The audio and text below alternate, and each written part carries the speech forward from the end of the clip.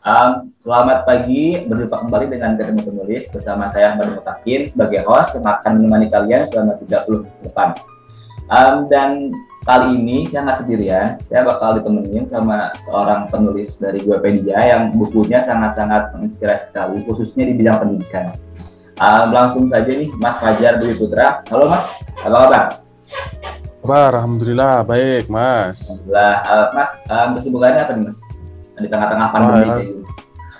Kesibukannya ya itu nungguin pandemi itu. Nungguin pandemi. Tapi sebelum pandemi selesai. Sebelum sebelum pandemi ngapain mas?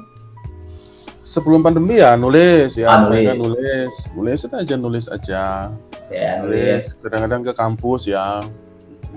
Oke. Okay. Gitu. Uh, mas sebelum kita mulai nih uh, lanjut lebih dalam soal obrolan tentang dunia kepenulisan, Mas Fajar boleh diceritakan Mas Fajar ini siapa?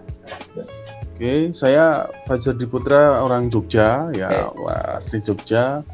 Uh, kegiatan sehari-hari ya tadi menulis, kadang ngobrol dengan teman-teman apa namanya media, teman-teman penulis, teman-teman di pasar, teman-teman di di mana pun lah, pokoknya cari inspirasi dari dari lapangan, kira-kira begitu itu. Oke, berarti kegiatan sehari-harinya menulis banget ini mas ya nulis aja tuh. Nulis kadang okay. kadang di kampus nulis itu aja. Oke okay, gitu aja. Uh, okay. mas Fajar sebelumnya Mas Fajar kenal kenal gue PDY ini dari mana sih dari sosial media oh dari... ya. Yang jelas dari sosial media okay. uh, eh, kemudian saya bingung waktu itu mau mengekspresikan uh, apa tulisan di mana segala macam karena uh, saya lihat Wikipedia memudahkan ya. Yeah kemudian saya uh, menjadi ikutlah sampai sekarang gitu kan. Oh, ya berarti dari dari sosial media mas dari ya, dari sosial media Instagram gitu dari Instagram betul dari Instagram. Oke, um, berarti sebelumnya uh, buku Mas Fajar ini udah udah ada apa yang mas sebelumnya mau nerbitin atau bingung mau nerbitin bingung mau di mana atau gimana? Dulu saya nulis itu 2000 13 nulis itu tapi novel kan novel okay. tapi terbitannya uh, apa namanya itu penerbit apa namanya itu pohon cahaya waktu itu. Ya. Tapi prosesnya lama ya kan. Nah, terus kemudian berhenti menulis satu setahun dua tahun kemudian nah itu langsung ketemu gue Wikipedia tahun lupa saya tahun berapa gue Wikipedia itu 2018 sudah ada ya kayaknya. Udah, udah ada, udah ada, udah ada. Sudah ada ya sepertinya itu. Oke, berarti ketemu gue PD dari tahun 2018 dan sampai saat ini masih bergabung ya Mas ya di Sampai di saat ini masih alhamdulillah ya, masih.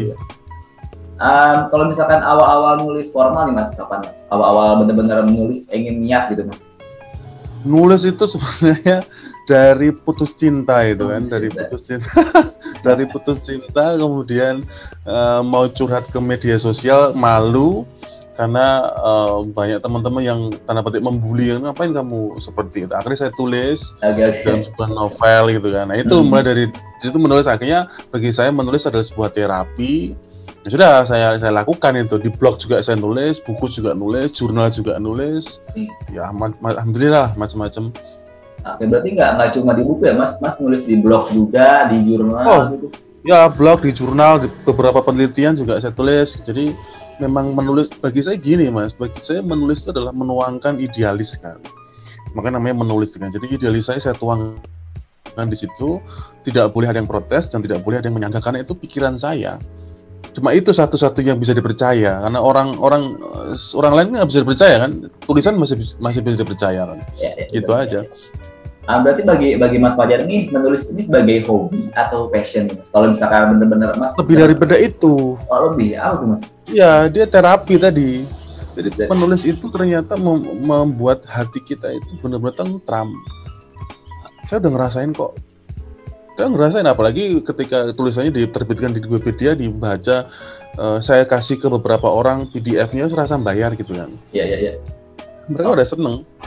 Jadi sebagai media terapi gitu ya. Media terapi kok saya melihat media terapi dan saya sampai sekarang saya masih merasakan akibat dari terapi itu nikmat. Ya nikmat banget. Nikmat uh, banget. nah kan uh, tadi Mas Fajar bilang nih, uh, Mas Fajar nulis di berbagai media, contohnya di blog dan di jurnal, Mas. Nah, hmm. itu sebagai tangan-tangan sih Mas buat Mas tersendiri? kan pastinya Ya, ada ada porsi beda-beda nih mas uh, Ya. antara menulis uh, antara menulis di blog di jurnal dan di novel gitu mas contohnya Gimana? Ya begini karena ke- ketika saya menulis di jurnal itu ada beberapa apa namanya itu semacam prinsip ya. Kalau di Webedia itu dia lepas saya lepas dalam artian saya nggak nggak nggak terikat dengan eh, referensi buku segala macam itu pikiran-pikiran saya saya tuangkan di situ. Tapi kalau jurnal ilmiah saya harus pakai referensi. Jadi saya bandingkan menulis ilmiah dengan menulis yang bukan ilmiah itu lebih susah mana? Ternyata lebih susah yang non ilmiah. Jadi Webedia itu sampai sekarang saya udah 38 buku nggak salah. Iya, iya. 38 buku apa 36 lupa saya. Nah, itu lebih sulit daripada nulis kan nulis ilmiah karena ilmiah itu harus ada referensi itu mudah referensinya. Ada kita tinggal baca, baca jurnal ada referensi. Tapi kalau itu mikir itu lebih sulit. Jadi ketika dua-dua bisa jalan insya Allah aman bagi saya. Terapinya lulus lah gitu kan. Jadi nggak stres lagi kan.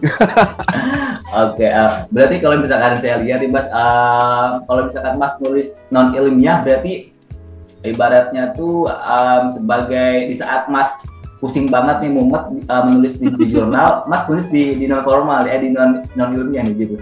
Betul, itu terapi saya meskipun harus mikir cari info apa cari inspirasi segala macam, tapi saya tetap lakukan kok karena itu terapi.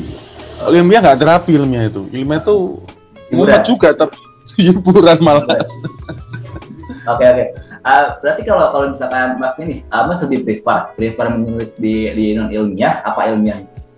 Lebih saya lebih suka yang non ilmiah. Non ilmiah. Oke. Ya, lebih suka itu karena itu benar-benar murni pikiran saya, bebas gitu kan.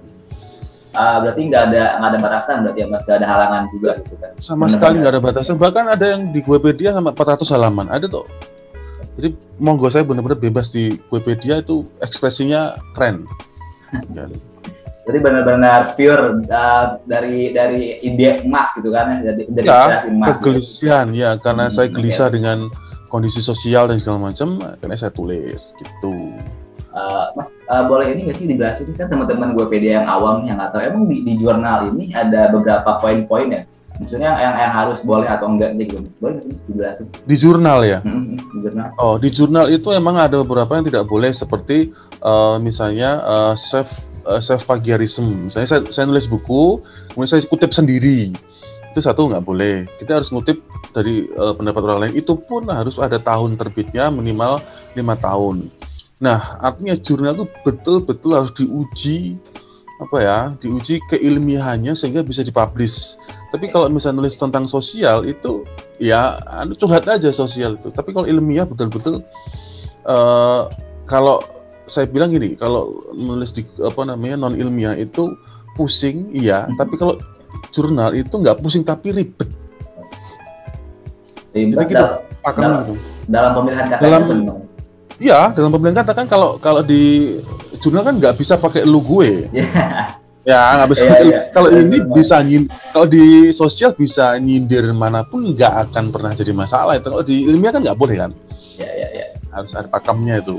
Oke. Ah, berarti harus ini ya, harus dari dari segi informasi harus benar-benar valid juga ya Mas kalau misalkan menulis, menulis um, di bidang il- ilmiah ini gitu.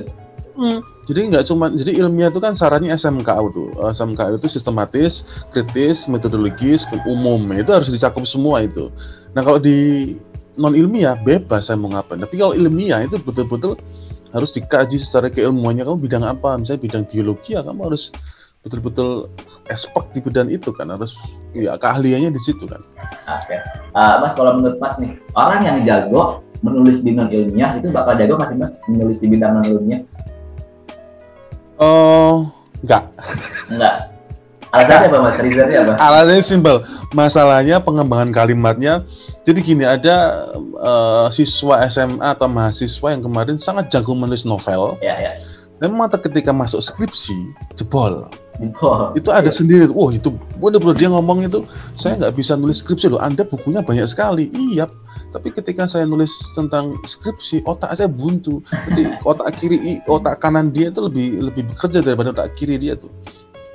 itu Mbak. buktinya memang banyak teman-teman mahasiswa yang atau siswa lah tulisan ilmiah segala macam dia nulis novel oke kan Hmm, tapi kita masuk il- ilmiah nah, jadi nggak harus deh Oke.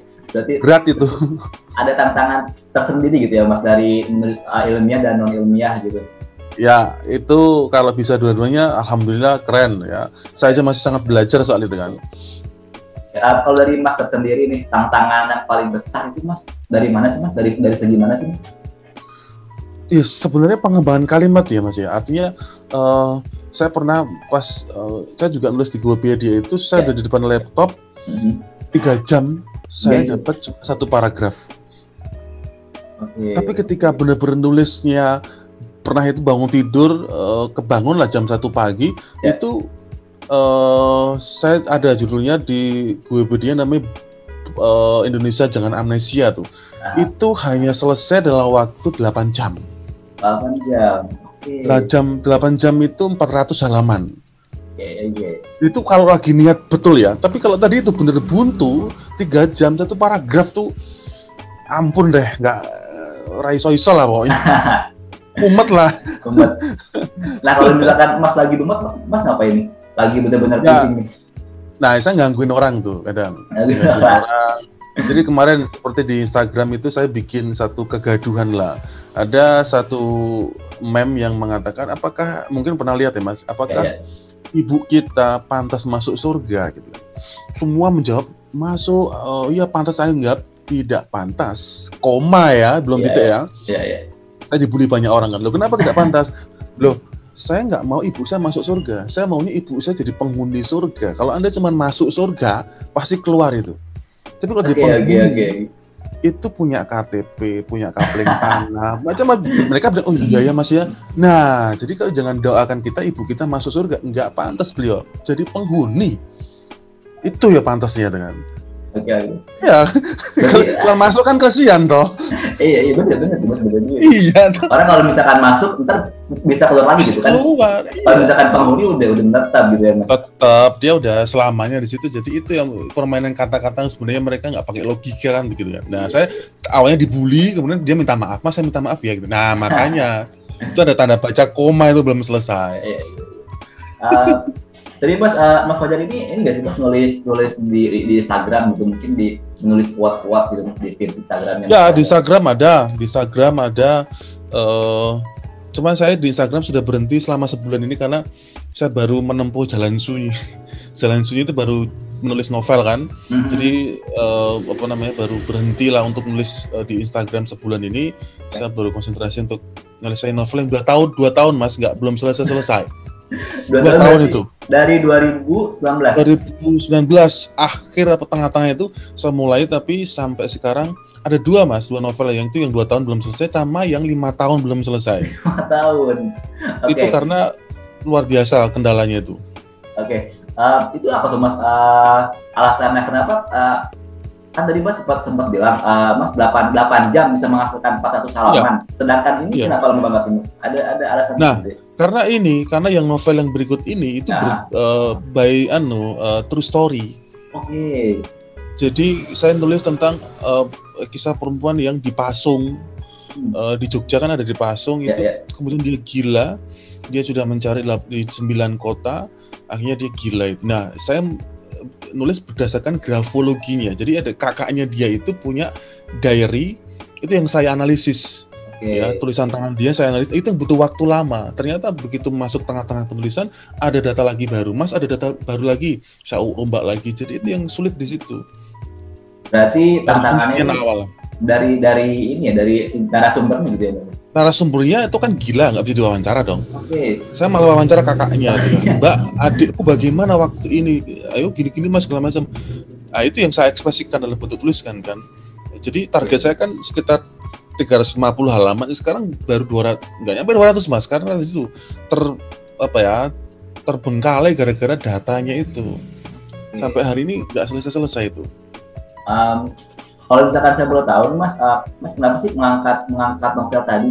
Itu dalam novel apa apa cerita? novel novel Novel. novel Itu Mas kenapa Iya, nih? eh, karena waktu itu saya eh, kalau di Jogja namanya jagong manten tuh ya atau kondangan Ya. itu saya di situ kemudian ada- saya tanya beberapa orang Pak di Gunung Kidul ada apa yang apa yang menarik oh ini segala macam Nah, ternyata ada orang yang dipasung eh, kemudian dia nikah itu uh, jadi gini dia nikah itu satu jam sebelum pernikahan dibatalkan.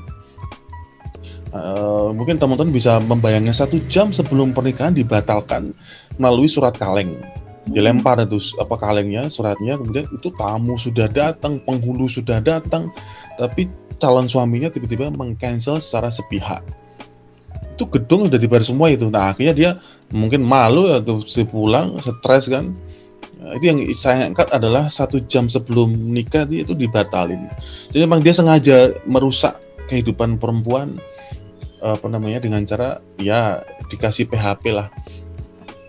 Itu ya, kalau kalau apa kemudian dipasung pakai kayu kemudian dia ngamuk kalau lihat uh, motor merek tertentu itu punya pacarnya itu kemudian dia ngamuk pakai golok pakai parang pakai celurit akhirnya dipasung hmm. tapi aslinya mas aslinya cantik banget tuh anak itu itu bikin saya betah itu kan Ah, berarti karena korban PHP kali, korban korban. Iya, betul, betul. Oke. Okay. Ana nih buat teman-teman jangan suka PHP-in cewek kan, kayak gitu. uh, mas, uh, saya penasaran nih. Kan tadi Mas bilang dalam waktu 8 jam Mas bisa menghasilkan sebuah karya 400 lembar ya Mas ya tadi bilang. Ya, ya, ya nah, betul. Uh, itu Mas lagi lagi bener-bener niat atau emang lagi ngejar deadline atau gimana? Atau bener-bener ya, saya tuh? Ya saya kesurupan paling ya. Jadi memang nggak tahu mas ya. Pokoknya pokoknya ketika saya betul-betul niat itu saya kesampingkan handphone, saya kesampingkan apa pun juga. Handphone tuh nggak pernah saya pegang ketika nulis. Saya masih ingat tuh dari jam satu malam selesai jam 8 pagi tuh, 8 an kurang, kurang lebih itu 8 9 itu. Itu selesai. Tapi akibatnya herpes. Ya, saya kena herpes waktu karena betul-betul uh, apa namanya nggak keluar kamar itu tapi selesai gitu kan selesai. karena itu benar-benar lancar tadi tuh kebalikannya kalau benar-benar nggak nggak nggak ada ide ampun dah itu satu jam tiga jam juga nggak bakal keluar tuh kalimatnya itu oke okay. uh, mas uh, mas tadi bilang nih kalau misalkan lagi lagi menulis masnya nggak nggak pegang handphone nah kalau misalkan lagi butuh kan butuh butuh referensi nih otomatis oh, iya. buka, buka internet nah, oh betul betul. betul kalau lagi buntu buka internet, buka buku, buka apa pun juga nggak bakal membantu itu. Kalau saya pribadi nggak bakal membantu. Saya jujur membantu ketika melihat uh, apa ya kondisi sosial sekitar rumah saya yang kadang-kadang loh kok begitu sih sama orang yang nggak punya? Kok begini sih? Kok begitu? Bahkan ada beberapa uh, apa ada tetangga saya itu namanya haji, sudah bertitel apa haji ya mas ya, ya, ya. haji ya. tetapi hmm dia tidak sepeka itu. Eh, jadi itu menjadi apa ya? Menjadi pemantik buat saya untuk loh kok jadi ada namanya uh, apa yang dalam agama Islam tuh semacam uh, sedekah gitu ya? Oh iya iya sedekah. Sedekah itu memberi tapi dia enggak itu kan? Jadi itu itu enggak. Jadi itu kadang-kadang kayak gitu menjadi inspirasi itu malah lebih cepat daripada media sosial. Karena media sosial kan mohon maaf ya kebanyakan hoax kan ya ya bukan hoax tuh. Hmm. Apalagi sekarang tuh PPKM diperpanjang itu makin punya ide lagi tuh untuk mengkritik pemerintah itu. Ah, ya. Ah, berarti kalau misalkan saya lihat di Mas, Mas ini orangnya peka gitu dalam segi, maksudnya dalam hal-hal sekitar Mas peka gitu, maksudnya orangnya peduli atau gimana Mas? Atau Mas mungkin punya alasan tersendiri gitu? Kak, saya mikir begini Mas, teman-teman saya bilang eh, saya itu aneh gitu kan, karena dulu saya tuh berhenti di lampu merah, lampunya hijau kan harusnya jalan tuh. Ya, ya. Saya nggak jalan. Itu saya mikir, ini lampu merah, kenapa dikorupsi ya? Kenapa? Karena jumlah detiknya merah dengan hijau itu berbeda. Merahnya itu 100 detik, hijaunya cuma 70 atau 60. Kan gitu kan di jalan-jalan. Saya mikir ini siapa yang korupsi? Saya pengen tahu gitu kan. Sehingga saya di klakson itu mas jalan gitu kan. Saya jalan tapi saya sambil mikir kan. Ternyata ketemu lah itu itu ada di buku saya di Wikipedia itu. Saya lupa buku nomor berapa. Dia saya tulis filosofi lampu merah. Artinya Indonesia itu lebih banyak berhentinya daripada berkaryanya itu. Jadi lebih banyak berhenti merahnya daripada berkarya mereka itu. Berarti dalam Indonesia udah berwarna uh, dari dari dari sebuah lampu merah aja mas bisa menghasilkan sebuah karya gitu ya mas. Itu keren banget dong mas ya karena karena otaknya saya agak nggak beres itu perempuan perempuan datang terus e, ini perempuan kan ada cewek, perempuan, gadis, wanita. Ternyata cari-cari perempuan itu dari kata per dan empu. Ya. Per itu empu itu adalah orang yang menatah keris. Jadi perempuan adalah orang yang hatinya benar-benar kayak perumahan terdiri dari beberapa rumah perumahan. Perempuan itu terdiri dari beberapa empu, empu itu yang menatah keris. Jadi perempuan itu bajanya luar biasa. Ibu kita itu hatinya baja, jiwanya baja, makanya dinamakan perempuan. Nah saya cari referensinya, oh iya ketemu. Dari dari sepak bola aja bisa insya Allah jadi jadi ide itu. Kayak kemarin di Guapedia juga saya nulis tentang uh, apa namanya itu uh, mundur ke depan bukunya. Dari dari diskusi, dari di rumah di gubuk mas, gubuk saya ini di di rumah ini ada apa semacam diskusi namanya uh, apa namanya dilarang melarang. Jadi uh, diskusi soal apa pun juga uh, apa namanya soal sosial dan segala macam. Teman-teman saya yang diskusi itu kebanyakan teman-teman pelacur, teman-teman tukang beca, teman-teman yang teman-teman sosial, pelukis, seniman segala macam. Saya undang untuk diskusi lah. Jangan jangan apa buanglah cerdas pada tempatnya pokoknya. Nah, nah Mas dari tujuan Masnya itu itu apa sih? Tujuan uh, mengumpulkan semua teman-teman emas terus berdis berdiskusi gitu secara secara bareng-bareng rame-rame itu. Tadi itu saya pengen teman-teman tuh kalau menuangkan kecerdasannya pada tempatnya bukan pada media sosial. Kenapa media sosial saya anggap itu uh, buruk? Karena mereka itu uh, netizen tuh kan nggak punya wajah. Ya, Dia ya. cuman ber, ber, ber, bermodal jari membuli segala macam. Nah kalau di perkumpulan langsung kita bisa tahu Anda punya pendapat apa, kamu punya pendapat apa tampilkan wajahmu gitu kan. Kalau bully-bully sekalian. Jadi uh, banyak uh, apa namanya uh, hoax itu salah satu caranya apa salah satu solusinya bukan menangkal hoax tapi solusi hoax adalah tingkatkan IQ kita itu. Sehingga kita cerdas untuk berekspresi di sosial media. Monggo sosial media silakan aja. Tapi tampilkan wajah anda ya baru kita diskusi gitu kan. Nah kalau di sini teman-teman itu kan mau protes kelihatan wajahnya gentle gitu loh mas ya, ya, ya. tempur-tempur yang benar-benar perang-perang gentleman gitu kan ya, ya, ya. jangan dibalik media sosial gitu ya, ini kebanyakan sekarang orang-orang beraninya di, di sosial media pakai akun-akun yes, anonimus betul, gitu betul kan. akun-akun yang telur-telur itu mereka ya. membuli banyak orang hmm. akhirnya ketika di chat segala macam ngumpet dia kan iya. ganti akun selesai tuh sana nggak gentle kan iya iya iya uh, Mas Fajar uh, mungkin kita langsung masuk ya ke buku Mas Fajar okay. nih. Kalau misalkan kita bahas semua, lama banget tuh Mas, uh, Mas Fajar ada 30 lebih nih bukunya. Hampir 40 Mas. iya toh. Iya. Tapi yang, yang paling saya interest, yang paling saya apa ya menarik untuk untuk kita ulas ini ada yang berjudul tentang pecinan, asimilasi, feudalisme dan oh, modalitas yeah. komunikasi antar budaya.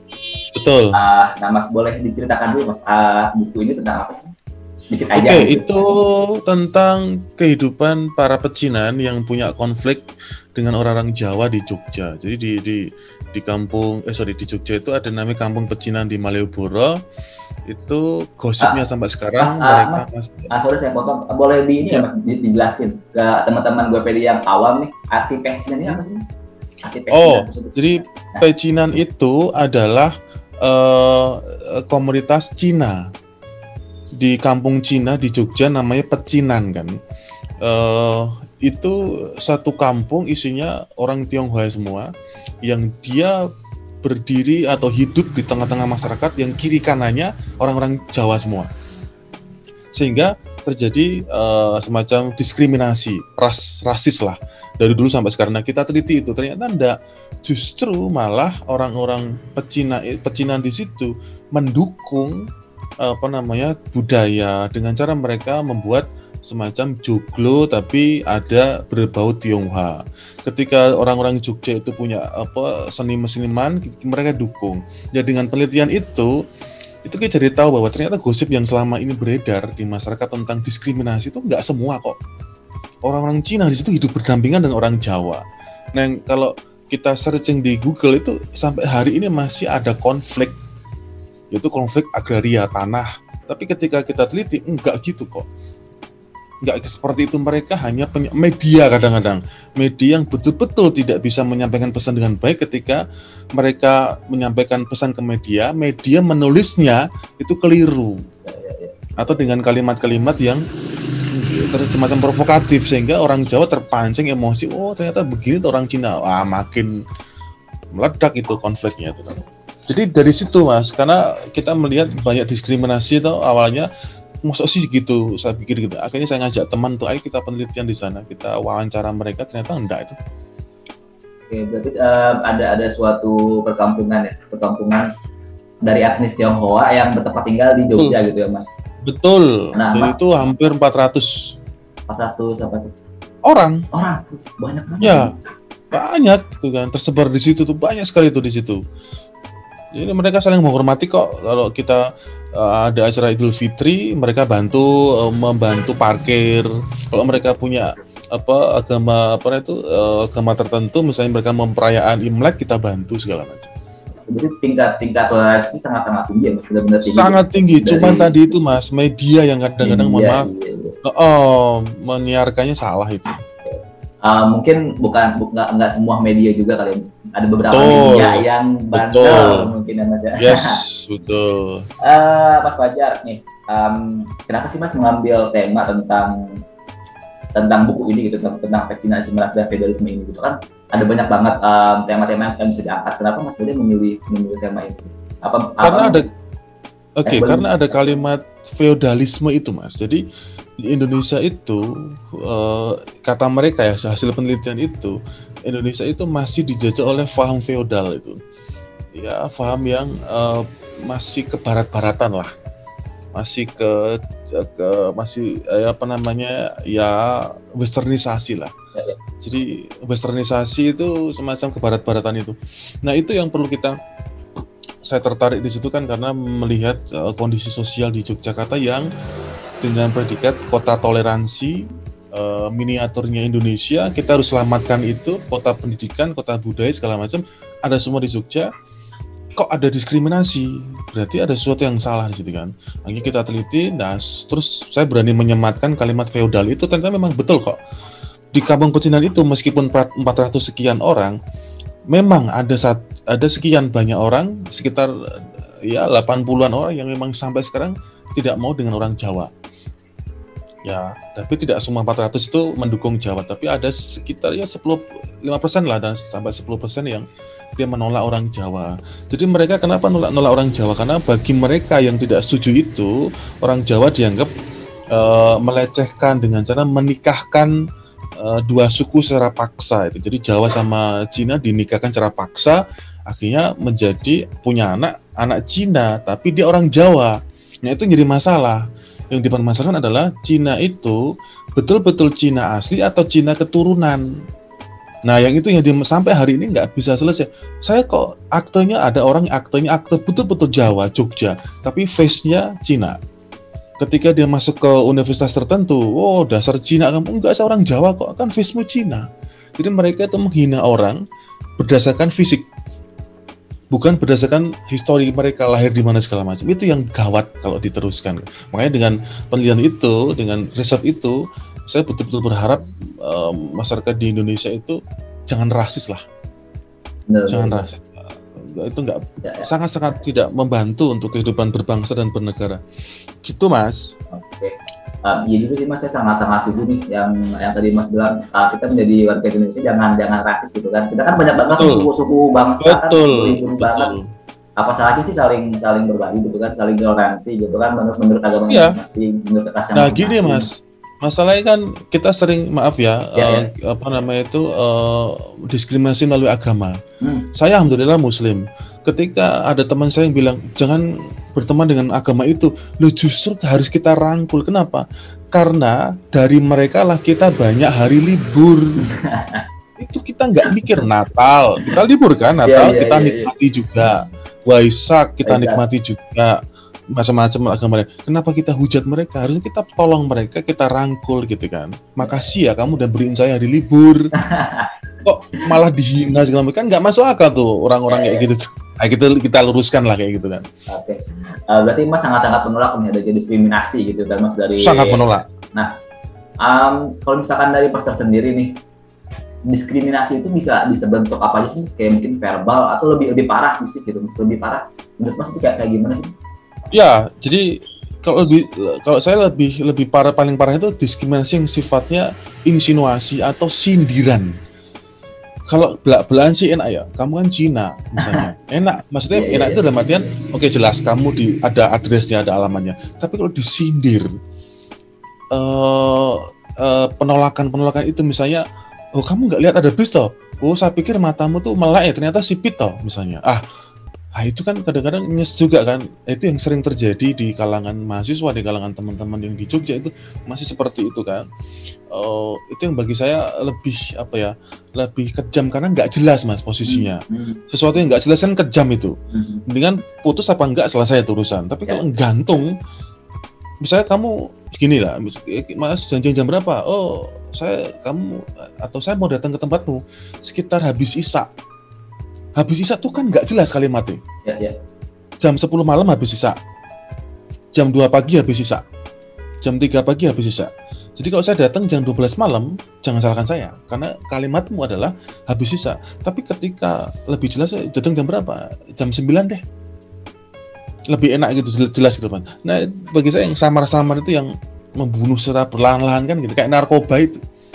Nah kemarin juga saya bikin ulah lagi tuh mas saya bikin ulah dengan cara itu Polri, Polda Hmm. ring, Polda, Polda DIY bikin kalimat eh, de- apa jauhi narkoba, tingkatkan prestasi itu kan. Saya bikin kebalikannya itu, dekati narkoba, tingkatkan prestasi. Saya diprotes banyak orang kan. Lo kenapa mas? Anda mengajari orang pakai narkoba? Enggak, saya nggak, bi- saya nggak ada kalimat pakai narkoba kok. Saya bilang dekati narkoba, tingkatkan prestasi. Lo kenapa?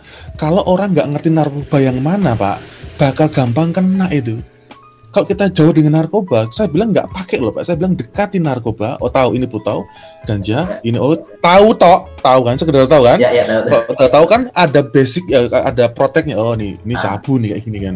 Kita jauhi. Nah itu yang kemarin saya kasih logikanya kepada mereka. Mereka langsung bilang, oh iya mas ya. Nah berani nggak bapak bilang atau pasang apa banner gitu, dekati narkoba, tingkatkan prestasi. Karena menurut survei itu di Jogja yang kena eh, narkoba itu karena dia nggak tahu narkobanya mas. Kalau dia tahu narkobanya, insya Allah malah nggak pakai itu. Cukup sekedar tahu saya bilang ya, tahu Iya. cukup tahu, jangan pakai ya, jangan tahu ya.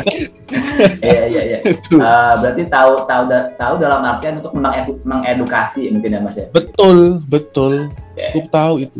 Untuk tahu kalau misalkan narkoba ini eh, garang Nah, lah ya. sekarang gini dan- mas, eh, banyak mungkin teman-teman yang cewek atau siapa pun, ad, em, em, mas tahu nggak ada narkoba namanya pil sapi? pil sapi sih sih Mas.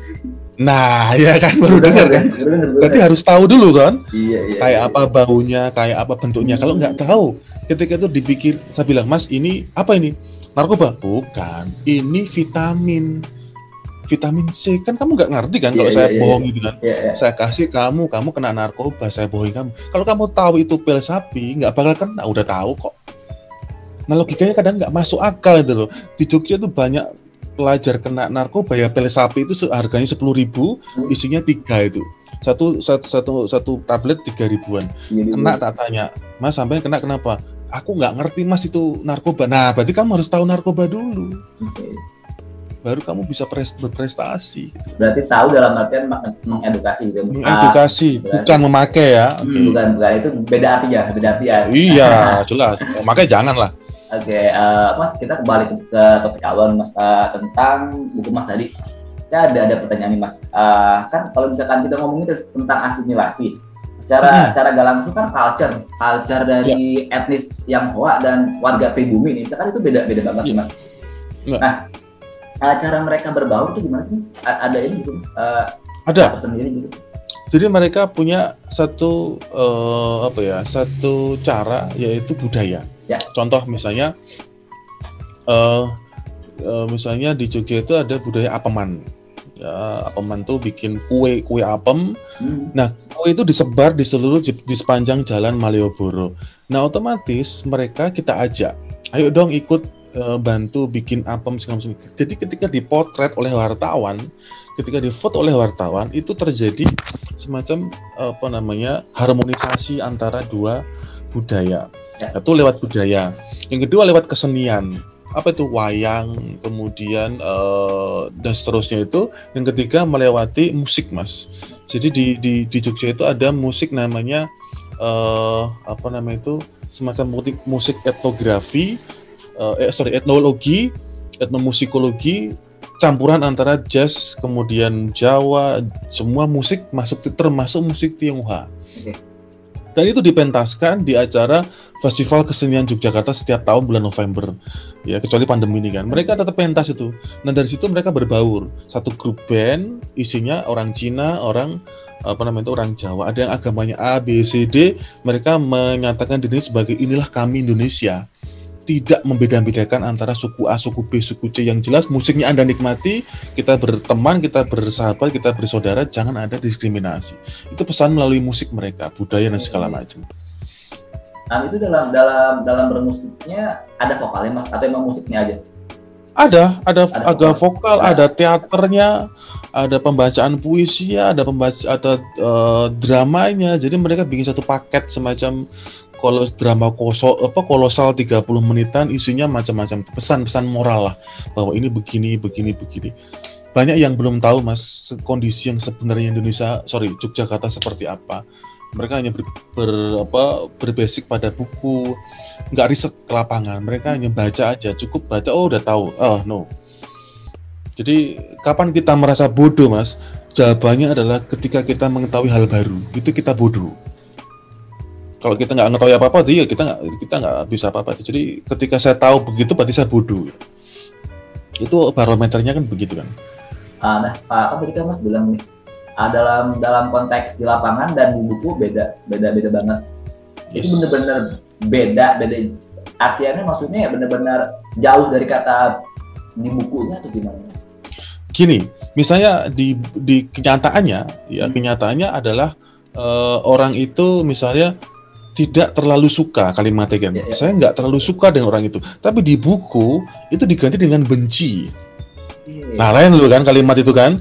Saya benci kamu. Nggak terlalu suka itu artinya dia mau menerima, mau menerima tapi nggak suka dengan konsep iya, iya. pikiran-pikiran itu. Tapi saya terima itu. Misalnya saya nggak suka mie ayam, tapi saya doyan. Hmm. Bukan berarti saya benci mie ayam gitu kan. Ya, ya, ya saya tetap mau makan itu tapi saya nggak suka. Nah kalimat itu diganti di buku. Mereka membenci orang-orang ini. Itu kan wah itu apa namanya nggak benar itu. Makanya saya kadang-kadang saya baca buku itu kan saya beralih ke jurnal mas. Kalau ya, jurnal ya. insya Allah aman sih ya.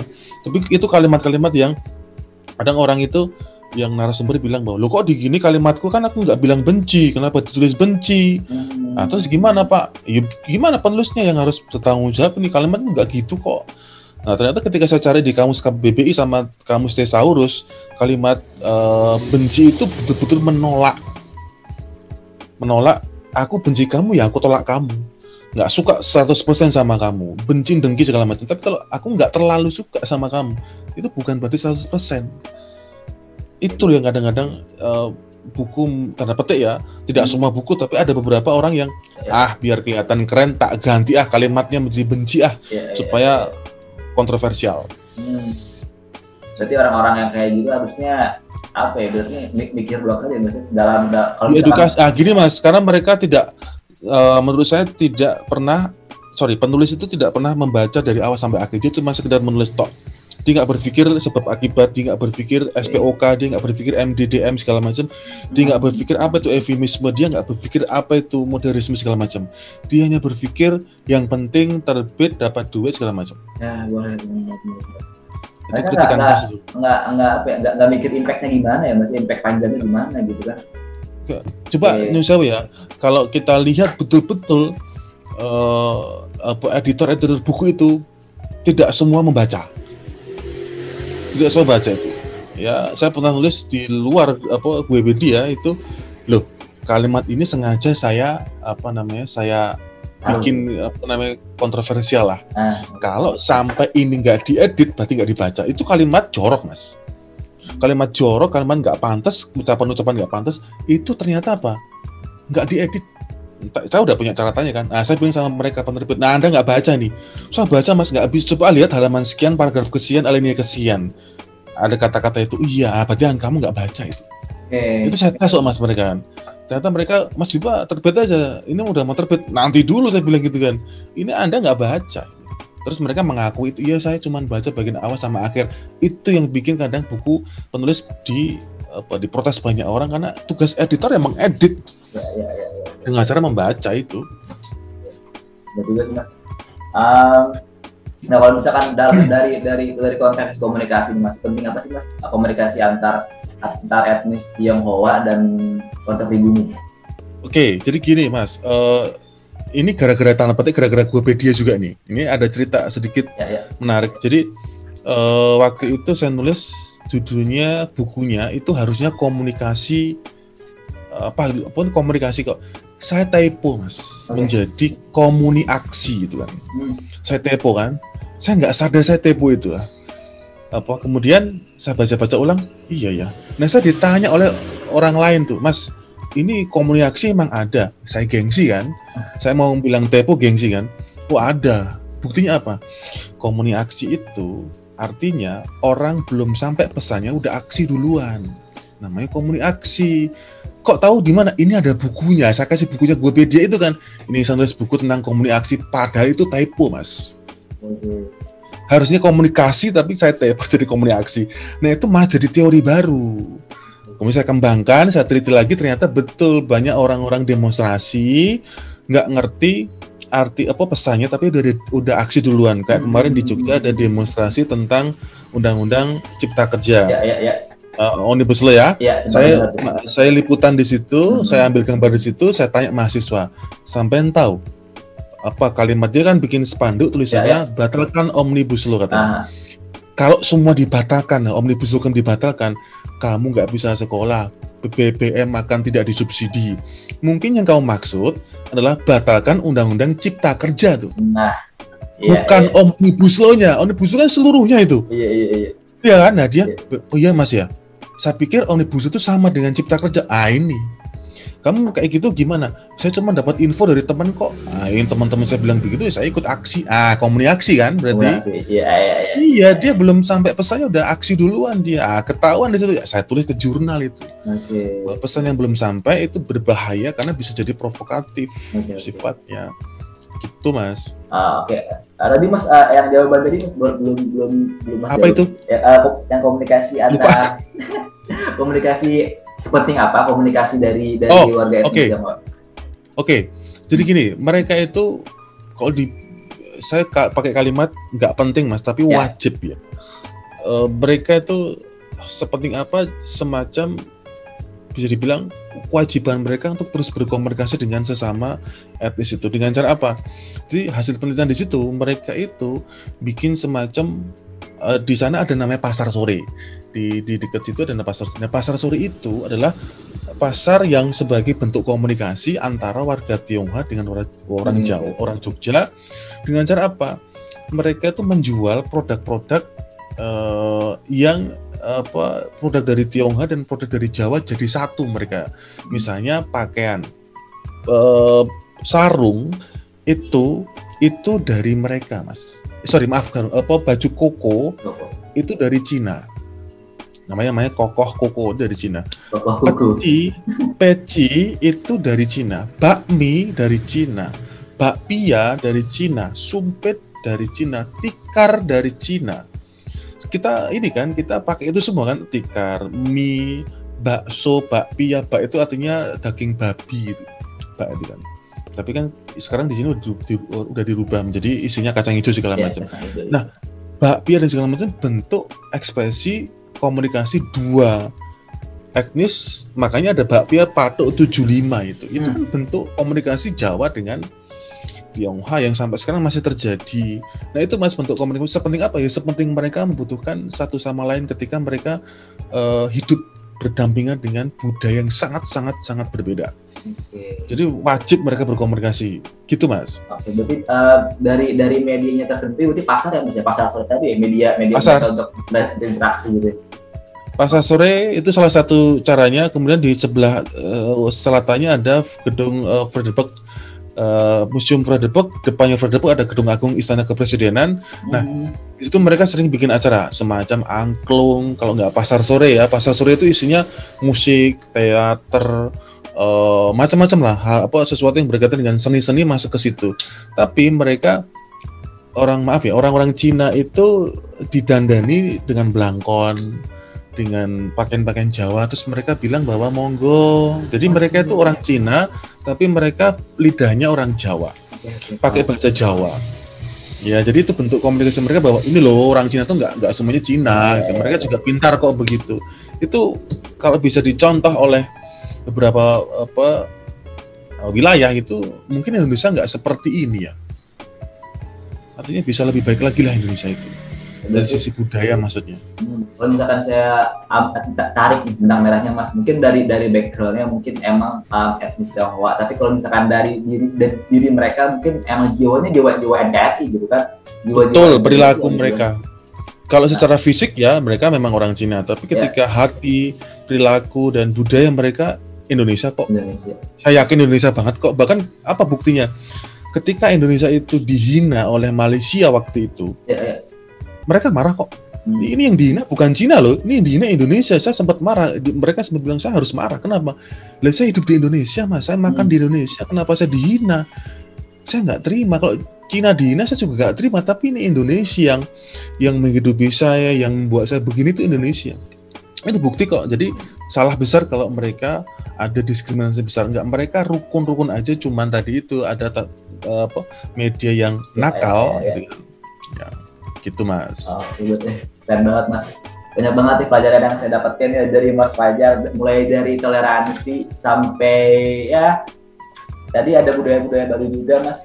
Sumpah ini benar-benar wajib ditonton buat teman-teman gue pedia kan terakhir Mas dari saya nih. Mungkin ya. uh, Mas ada gak sih yang, yang mau disampaikan? Atau uh, yang mau disampaikan ke teman-teman gue pedia yang tadi saya saya nggak nggak tanyakan yang belum tersentuh gitu? Hmm tentang buku okay. atau tentang dunia kepenulisan gitu. Jadi gini, kalau saya boleh pesan ke teman-teman ya, itu pesan saya apa ya? Uh, mungkin satu aja ya, jangan berhenti menulis lah, karena uh, menulis itu adalah semacam terapi. Saya bilang tadi itu bahwa kalau anda nggak, kalau kita nggak apa namanya, kita nggak menulis, berarti kita nggak terapi. Jadi uh, jangan berhenti menulis karena itu sebuah kebutuhan. Nah suatu saat nanti kalau kita meninggal itu salah satu jejak rekamnya adalah tulisan. Tidak ada yang lain. Ijazah nggak berlaku, tulisan kita yang berlaku, pikiran-pikiran kita yang berlaku. Jadi saya juga mengucapkan terima kasih ke Bedia ya. sudah memberikan ruang kepada kami para penulis untuk bisa mengekspresikan tujuan. Pokoknya saya bilang sukses terus lah buat Bedia. Saya akan terus menulis pokoknya lah. Amin, amin. Ini juga ini sedang nyiapin tulisan juga mas. Oh, oh sudah nyiapin. Lagi lagi. Ya, ya, ya. Sudah selesai, sudah oh, selesai. selesai. Tinggal saya edit aja tuh. Oh, saya baca-baca ulang lagi tuh. Oh, ya, udah selesai. Uh, mas, saya sedikit bacakan buku Mas. Uh, mas Fajar ini punya ini ya Mas, uh, punya sekolah gratis yang didirikan di tahun 2020. Ya, 20. itu dari 10 ya, ya 10. itu sekolah gratis tentang apa pun tentang bidang sosial ya. Isinya tadi itu anak-anak tukang beca, anak-anak Nah, sekarang sekolah itu uh, saya tanda petik saya gabungkan dengan namanya sekolah sorry kampus jalanan di Jogja. Nanti bisa searching ke Google itu kampus jalanan pakai Z ya, KMPUZ kampus jalanan. Itu isinya adalah pelacur, seniman, seluruhnya masuk ke situ. Syaratnya adalah tidak dosen, tidak mahasiswa, tidak guru, tidak murid, semua guru, semua dosen. Mengajar gratis tidak dibayar, Mengajar apa? Mengajar ngaji, matematika, biologi, pokoknya itu semua. Kita didik mereka secara yang baik, uh, cara berpikir yang baik ketika mereka nanti itu. Jadi uniknya gini Mas, mereka kalau upacara, hmm. kalau kita kan upacara itu kan pakai seragam tuh. Ya, ya, ya. Merah putih segala. Enggak, mereka kemarin hari buku itu saya bikin kita bikin konsep namanya sabu-sabu tuh. Sabu-sabu adalah sarapan buku, sarapan buku. Jadi hmm. mereka upacara yang dikerek itu bukan bendera tapi buku. Kemudian mereka hormat kepada buku sebagai simbol pengetahuan itu sangat penting. Pendidikan ya. itu sangat penting, ilmu itu sangat penting, tapi mereka dari golongan orang-orang tidak mampu. Hmm. Nggak pakai sendal, ya. nggak pakai baju, anak-anak yang cowok itu cuma pakai celana kolor tok itu, ya, mereka ya. hormat kepada buku bahwa terima kasih buku sudah memberikan kami pengetahuan macam-macam itu konsep orang-orang Jogja lah mas ya yang yang sampai sekarang insya Allah masih kita gerakkan untuk uh, menghormati ilmu pengetahuan kira-kira begitu ya Mas Fajar thank you banget ya udah udah okay. berkenan hadir untuk mengisi narasumber sebagai adik ketemu penulis itu Mas uh, sangat-sangat mencerahkan banget saya banyak banget ilmu yang saya dapetin gitu dari Mas Fajar nih Semoga bermanfaat khususnya bagi teman-teman gue. Jih, matur nuwun. Terima kasih. Ya, ya, ya. Um, teman-teman gue jangan lupa untuk follow IG-nya Gopedia di Gopedia Penerbitan dan follow juga akun YouTube-nya. Mungkin Mas Fajar ada akun sosial media yang ingin dipromosikan? Akan enggak sih Mas, enggak usah lah. Oh, tadi yang yang sekolah penulis Mas boleh? Ya sekolah, Sekolah sekolah gratis, ya sekolah gratis sorry.